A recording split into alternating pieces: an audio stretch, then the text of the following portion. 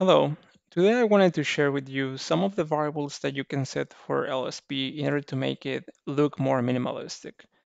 The reason that I wanted to create this video is because of an exchange I had with a user that commented in one of the previous videos. He stated uh, quite a bit of things that I agree with him.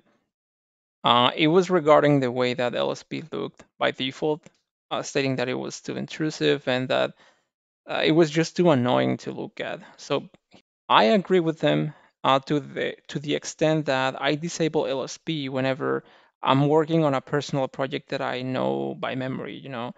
And if if it uses an API that I'm you know quite aware of, I don't really need that documentation popping off everywhere. So I just disable LSP for those cases. So what I wanted to do is read up the documentation and get rid of all of that so that I, I could have LSP active and really get advantage of all of the things that I like, like you know, highlighting some warnings that the compiler might throw at me, or maybe I just forgot a semicolon, and before even compiling, I, I, I can notice right away that I have to insert it and such.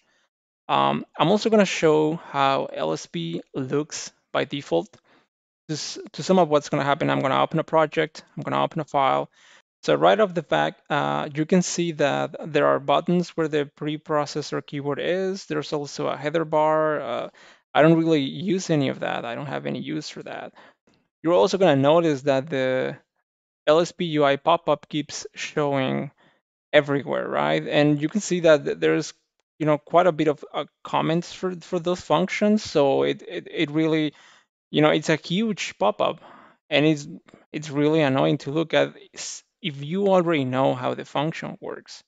Let's say that you're using company like I'm doing right here and you, you don't really need any of that. It, it's just a visual clutter that is, you know, distracting you, or at least distracting me, if I'm, I'm being honest. Let's say that you just, you know, type all of the the parameters, and you know the the pop-up keeps showing up at the top of the screen.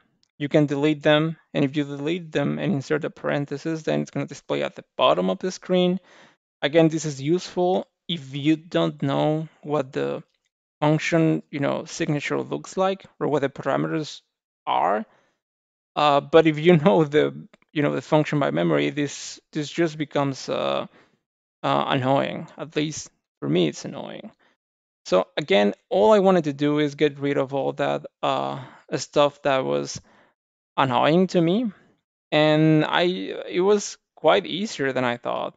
In fact, I just added these small things that I uh, took from uh, directly from the you know the documentation from LSP.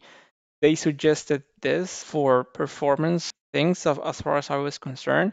I also don't care for the log IO. I, I, I don't care for that, so I just disabled it. And these are the things that I disabled for for LSP in order to make it more minimalistic. And I'm gonna do the same. I'm gonna open the the project the, the same file actually.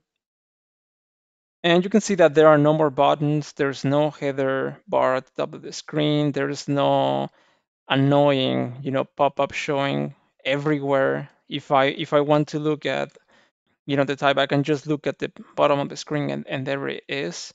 If I go to a, you know, a function definition, then it, it it's telling me exactly what it is. It's a it's a function that returns a, an SDL window and it takes those parameters. And and again, this is uh, good enough for me. One of the things that I do like about LSP UI is that it's going to tell you the errors. Uh, but the way that I have it configured is that if I delete the semicolon right here, uh, it's going to tell me, it's going to highlight the next line. That's, that's just the way it is usually with IDEs and this sort of thing. But it's telling me what the error is. Just insert the semicolon before. And um, those kind of things are useful to me. And that is the reason that I wanted to have this configuration out there. In case you're, you know, someone like me who also don't enjoy having like very much visual clutter in your editor.